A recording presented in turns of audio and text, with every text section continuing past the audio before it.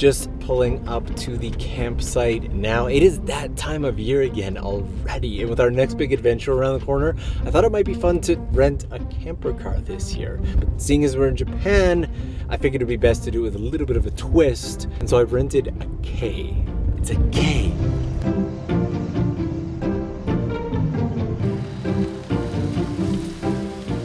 And if you don't know what a Kei car is, basically a type of tiny Japanese car. The engines are limited to 660cc and 64 horsepower, and you can't put more than four people in this, well, legally. This car is actually so small that I don't think I'm gonna be able to maneuver my whole camera rig around inside. To give you an idea of how big the camera rig is, yeah. So we're gonna shoot a lot of today on action cams, because that's just easier, just, just like that. Let's take a look inside. This car now for about a day, and I still don't think that I've found all of its cool secrets. First things first, let me clear this out and open the doors.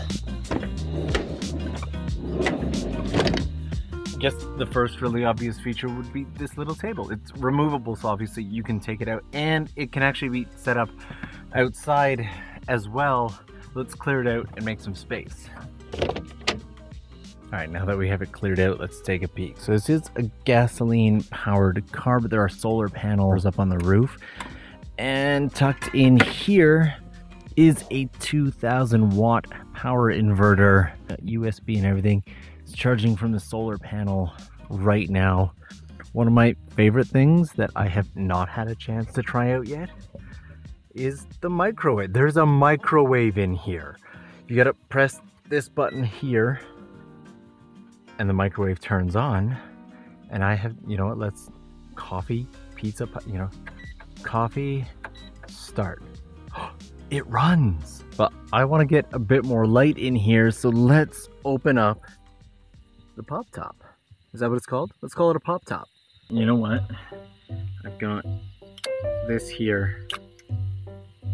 I think this just sticks to stuff. There we go. That works. stick it right up. It. Does it come off easy? Not super easy. We'll figure that out later. That's future Norm's problem. I've been getting a lot of questions lately, like, how did you get this shot? How did you get this shot? And I, oh, here we go. And so today I thought that it might be fun to share a little bit behind the scenes as we do it. And show you how I get some of these shots. A lot of the tricky shots are just done with tiny cameras, like this one. Like there is no way I'd be able to get shots into tiny little spaces like this otherwise. Cameras just aren't gonna fit, look at this. And on that note, before we get into the pop-up top, which I don't know if I love or if I'm terrified of, I'm actually impressed with how much storage space is just distributed out throughout throughout this entire thing. It is plentiful, but let's head up here. Duh, the pop-up top. So when I first found this, I thought, okay, it's it's just so you can stand and, and have a little bit of extra space. It, it is not. You can, if you wanted to, should you be so inclined, you could actually sleep up here. Check this out.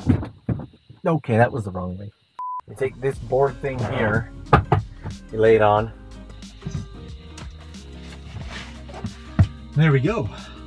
It'll be a tight fit, but in a pinch, if you really needed to or, or really wanted to, you could sleep up here. I also get the feeling that it would probably be a better fit for short people.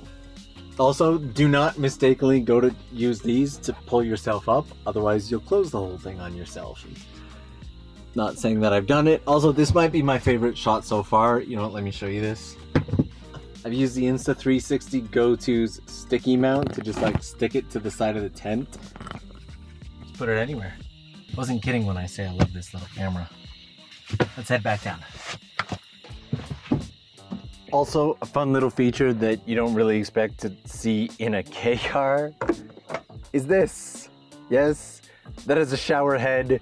I don't think it's really meant to be properly used as a shower. Actually, this right here, which I opened completely improperly, is a sink. So you could like wash your hands and everything. And I guess in a pinch, you could probably use this for a shower. I haven't used it yet. You may have also noticed this right here. And this is a bit of a fan for at night when the air can get all stuffy. Mind you, these help a lot. Actually, it got kind of cold last night, but it's got the battery meter and everything here, and quite a bit of air can get pumped out of here.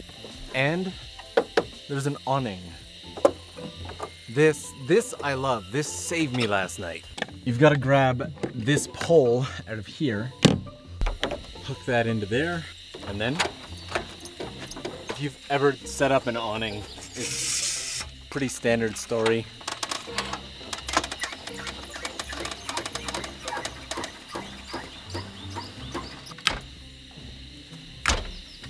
And you're done.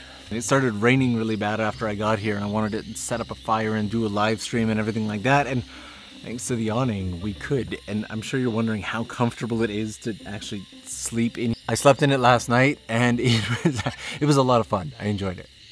Nighttime in this thing can be pretty cool because well, these are my own lights, by the way. There's a light up here, but if you want privacy, which obviously you're gonna want, especially if you're sleeping at like a parking area or something, you can just close these up.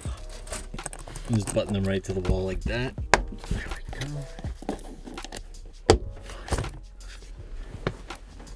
And you're good. Then as for sleeping space, I would say there's just enough space to lay down diagonally.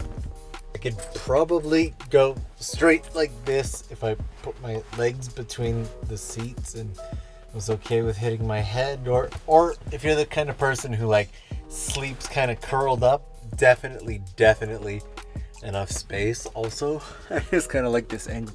Let's check up. Honestly, this was a lot cooler during the daytime. At night, you become very aware that A, it's, it's just pure darkness out there. You can't see anything. And B, if you have to go to the washroom, and there's somebody sleeping right below you, it's really not an ideal situation, especially if you've got like a, a, pad and a sleeping blanket and everything like that, and you can really feel it moving up here. Okay, we're uh, we're gonna go ahead and you can seriously feel everything shaking here. Let's... I'm also yet to figure out how to get this TV to work. Probably have to run the. I wonder, can I reach right now? Okay, started the engine. TV works fine-ish. Oh, no, that's off. Does it?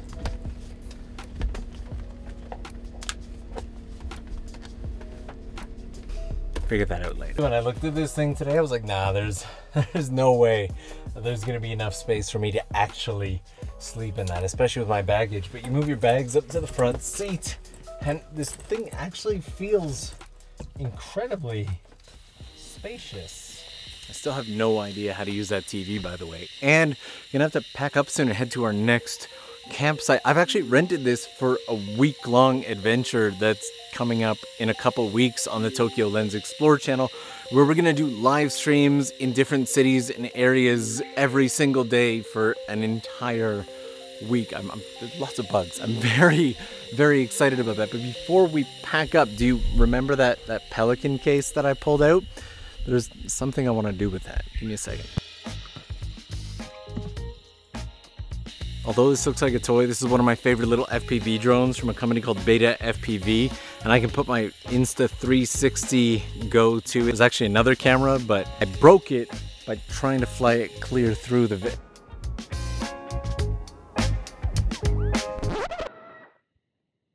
So we're, we're gonna give it a shot again today. Might break another camera.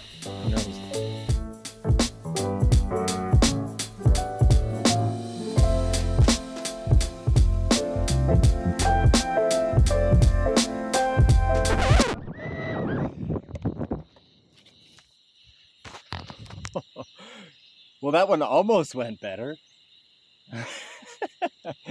I could play for hours, but it is time to pack this up and head to our next campsite. Also, because the Go 2 is magnetic, and just stick it right to the side of the car. Don't have to worry about a thing.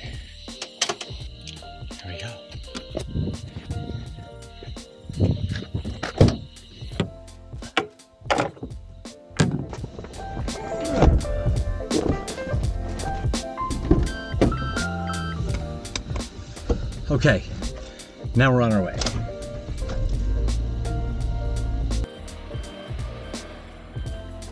If you've never driven a Kei car, by the way, there's only two types. You can hear the engine right now. There's only two types of people. Either you absolutely love it or you absolutely hate it. You feel every little bump, and the engine has absolutely no power. Again, it's a, it's a 64 horsepower engine at best, and. They're far from being a smooth and comfortable ride, but I kind of enjoy the novelty of it. I, I like them. I do.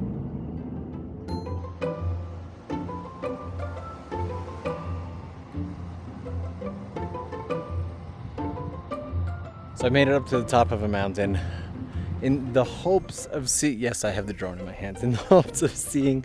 So there was a rainbow a minute ago, and I thought I could catch it with the drone. And by the time I got back, it was gone. It was a fleeting moment. That giant parking lot looking thing is going to be my campsite for the night. It looks like just a giant parking lot, but actually you can use this as a free camping space, which is why they have the washrooms. Just put that right there. But the road is closed during the winter time. So every other time that I've ever tried to come up here, I've been very unsuccessful. I'm always surprised by just how big the awning is.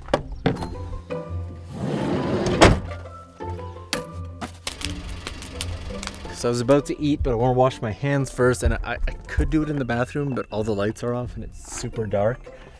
I think this is a good chance to figure out how to use the sink. I think I'm, I'm taking a shot in the dark. There's no manual. Well, there is a manual, but it doesn't show how to put the water in, so.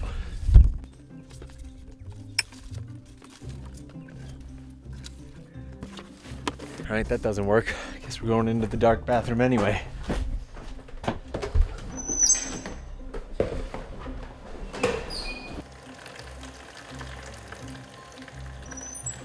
All right, that should be enough.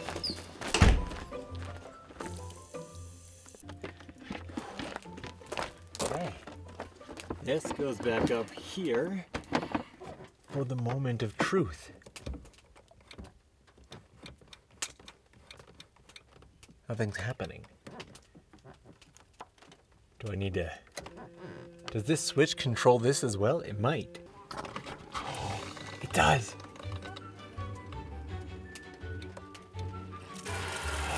It worked. Okay, all right, don't need all that.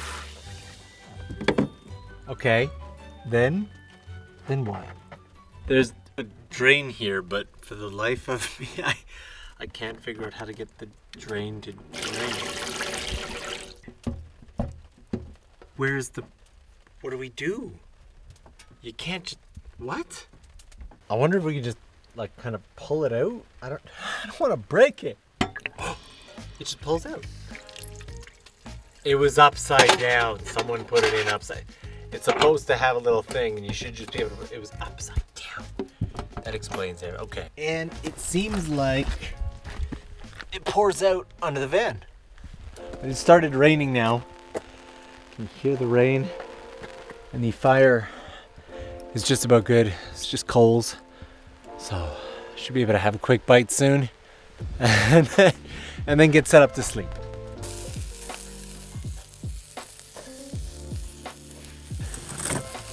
Now I can close all the curtains, get a good night's rest. Where did I put my sleeping bag? There we go. I'll obviously link the camper van down below in case you are interested, future reference and all that. And I will link all the little cameras that I played around with today from Insta360 and maybe some videos if you want to check those out. These ones right here, the Insta360 Go 2, I carry two of these on me at all time. I just I use them so much that one just isn't enough storage or battery wise. I love the fact that I can just stick it to stuff too. I'll drop it all in the description box down below. This camper van, what do you think? Would would you stay in this? Would you sleep in this? How about this part up here? That's the part that I'm super, super curious about. I don't know if I would stay up there.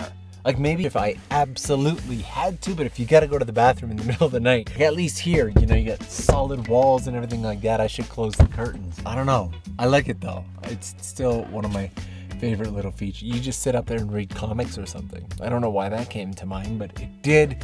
Thank you guys so much for joining. Let me know what you thought about the camper van down below. And you know, I will see you again real soon. Feel like there were some bloopers in this one. Sorry, I, I just realized I never showed if the microwave works or not. So I'm testing that now.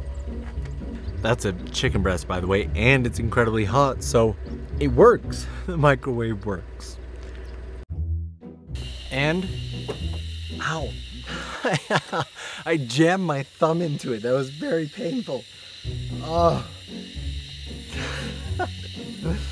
Oh, it's amazing I make it back from these adventures alive.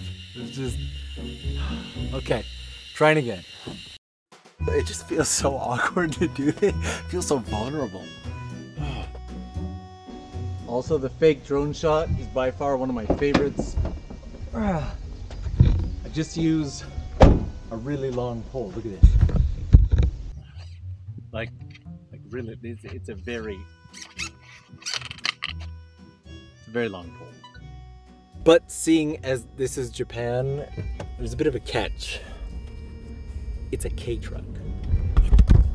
With all the curtains closed, the audio in here is actually really nice. I could probably record podcasts in here. Podcasts on the road. I really missed out on using this mount the last time I used this thing in a video. I'm gonna use this more. that scared the heck out of me. I had no idea what was going on. Okay, reshooting that. Never did figure out how to get the TV working.